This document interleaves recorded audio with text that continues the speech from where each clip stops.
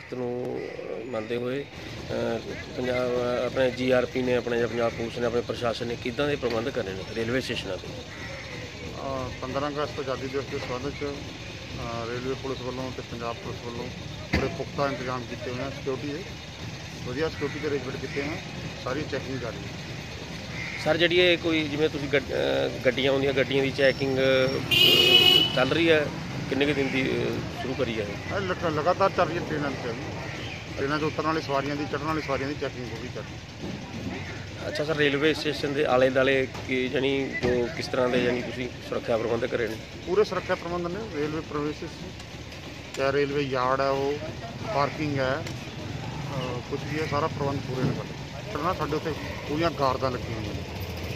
ਹਰ station ਤੇ ਸਾਡੇ ਸਰਹੰਦ ਜਿੱਥੇ ਜੀਆਰਪੀ ਸਰਹੰਦ ਦਾ ਏਰੀਆ ਥਾਣੇ ਦਾ ਏਰੀਆ ਪੈਂਦਾ ਹਰ ਸਟੇਸ਼ਨ ਦੇ ਉੱਤੇ ਗਾਰਦ ਲੱਗੀ ਹੋਈ ਹੈ ਸਾਡੀ।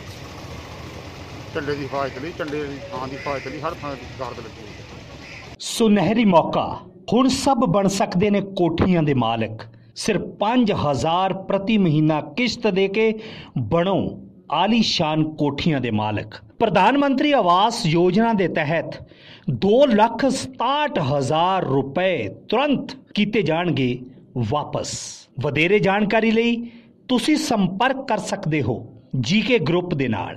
ਜੀਕੇ ਗਰੁੱਪ ਹਰ ਵਿਅਕਤੀ ਦੇ ਸੁਪਨੇ ਕਰੇਗਾ ਸਾਕਾਰ ਤੇ ਜੀਵਨ ਵਿੱਚ ਆਏਗੀ ਨਵੀਂ ਬਹਾਰ।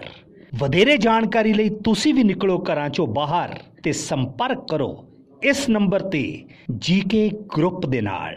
ਨੰਬਰ ਨੋਟ ਕਰੋ 9855100070 GK group Sirhind road, Patiala.